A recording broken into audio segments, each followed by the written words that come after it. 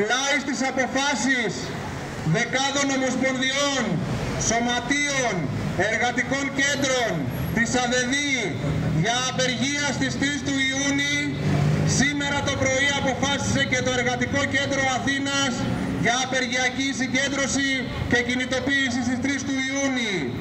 Το απεργιακό μέτωπο, το μέτωπο αυτό που ξεκίνησε από τα κάτω, από τους χώρους δουλειάς, που ενώνει τους εργαζόμενους απέναντι στην κυβέρνηση και στα τερτύπια των συμβιβασμένων ηγεσιών.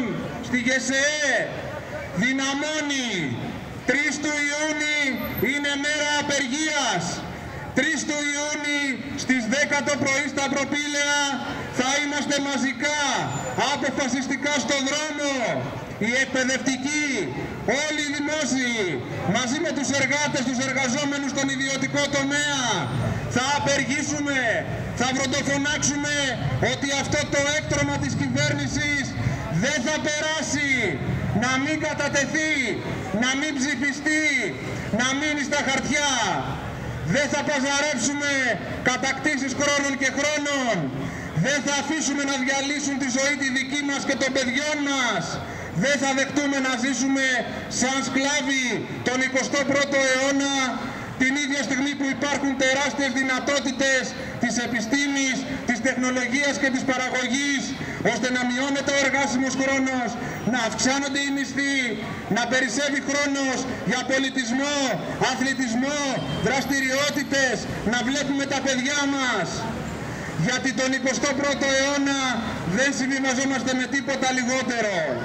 Ταυτόχρονα στη μάχη για να μην περάσει αυτό το έκτρωμα δίνουμε αποφασιστικό περιεχόμενο στο να καταργηθούν όλα τα αντεργατικά μέτρα, οι νόμοι και οι ρυθμίσεις των προηγούμενων κυβερνήσεων της Νέας Δημοκρατίας, του ΠΑΣΟ και του ΣΥΡΙΖΑ που έχουν διαμορφώσει πραγματικά μια ζούγκλα εργασιακή. Παλεύουμε με επιθετικά αιτήματα να, γίνει, να υιοθετηθεί και να γίνει υπόθεση πάλι η πρόταση των 500 ομοσπονδιών και σωματείων δημόσιου και ιδιωτικού τομέα για επαναφορά των συμβάσεων, για επαναφορά του κατώτατου μισθού στα 751, για μόνιμη και σταθερή δουλειά. Δεν κάνουμε βήμα πίσω, μπροστά βάζουμε τις ανάγκες μας.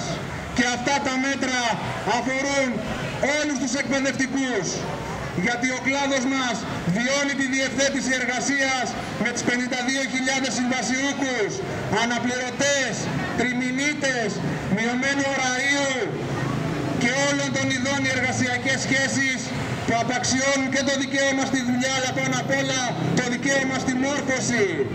Δεν θα τους κάνουμε τη χάρη να παραδώσουμε τα κλειδιά των σωματείων στην κυβέρνηση και το κράτος. Μπορούμε τις επόμενες μέρες να αξιοποιήσουμε κάθε λεπτό, κάθε ώρα στην προσπάθεια να ενημερώσουμε τους συναδέλφους στα σχολεία, σε κάθε σχολείο, σε κάθε σύλλογο διδασκόντων, να αποφασίσουμε ότι στις 3 του Ιούνιου δεν θα είμαστε στο σχολείο, αλλά θα είμαστε στη συγκέντρωση, στην απεργία, εκεί που κρίνεται το δίκιο, εκεί που θα γίνουμε ακόμα πιο περήφανοι γιατί θα παλεύουμε για τον εαυτό μας, αλλά και για τους μαθητές μας. Να πάμε σε γενικές συνελεύσεις των σωματείων, σε πρωτοβουλίες ενημέρωσης, να γίνει παντού απεργιακό κλίμα. Και δεν σταματάμε, συνεχίζουμε, κλιμακώνουμε τον αγώνα και μετά τις 3 του Ιούνιου με νέες κινητοποιήσεις, με όρους σύγκρουσης με αυτή την πολιτική, με όρους να πάρει καλά το μήνυμα η κυβέρνηση ότι αυτά τα μέτρα δεν περνάνε εύκολα, θα μας βρουν απέναντι. Οι επόμενες μέρες είναι αρκετές για να κάνουμε αυτό που πρέπει, αυτό που έχουμε μάθει να κάνουμε καλά και πολύ περισσότεροι να βγουν στον δρόμο. Να είναι και ένα μήνυμα η απεργία ότι δεν πάει άλλο η κατάσταση στα σχολιά, δεν πάει άλλο αυτό το μπάχαλο και ο επεγμός.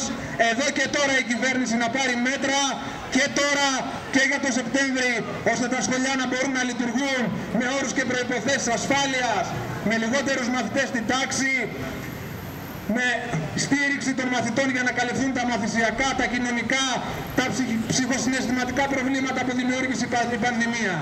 Πίσω δεν κάνουμε. Αυτό να το καταλάβουν και αυτό το μήνυμα δίνουμε και από τη σημερινή συγκέντρωση.